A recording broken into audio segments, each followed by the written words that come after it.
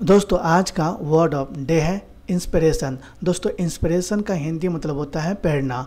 दोस्तों, जब भी आप किसी तरह के गोल को गोल टारगेट करते हैं तो दोस्तों, आप उस जिस गोल को आप किए हैं तो दोस्तों, हर क्षेत्र में एक इंस्पिरेशन होता है। जैसे कि दोस्तों, आप क्रिकेटर बनना चाहते हैं तो दोस्तों, आपका इंस्पिरेशन कौन है? जैसे कि महेंद्र सिंह धोनी सर जी हैं या विराट कोहली सर हैं तो दोस्तों, जब जो भी आप अपने टारगेट को किए हैं तो दोस्तों हर व्यक्ति का एक इंस्पिरेशन होता है कि मुझे इस कदम पर चलना है। तो दोस्तों, उस व्यक्ति के रूप में ही करना है। तो दोस्तों, ऐसे हम इंस्पिरेशन का यूज़ करते हैं। तो दोस्तों इंस्पिरेशन के दो ऐसे एग्ज़ाम्पल समझते हैं, जो इस प्रकार है।